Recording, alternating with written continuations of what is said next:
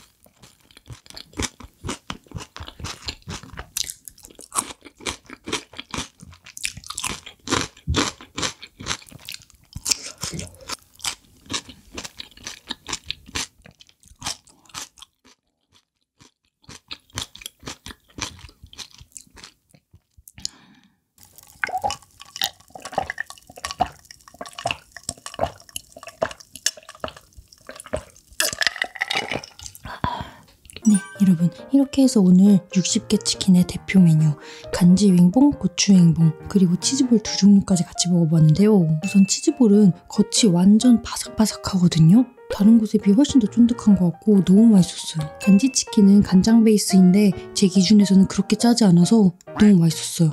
고추치킨은 생각보다 맵고 고추향이 확 나서 처음에 놀랐는데 워낙 제가 매콤한 걸 좋아하다 보니까 고추치킨에 자꾸 손이 갔어요. 여러분도 보셨다시피 닭 상태랑 기름 자체가 너무너무 좋은 게 느껴졌고요. 개인적으로 고추치킨을 이 고추 마요네즈에 찍어 먹으니까 더 맛있었어요. 저처럼 이렇게 두 가지 메뉴로 드시면 너무너무 좋을 것 같아요. 그럼 오늘도 너무 맛있게 잘 먹었습니다.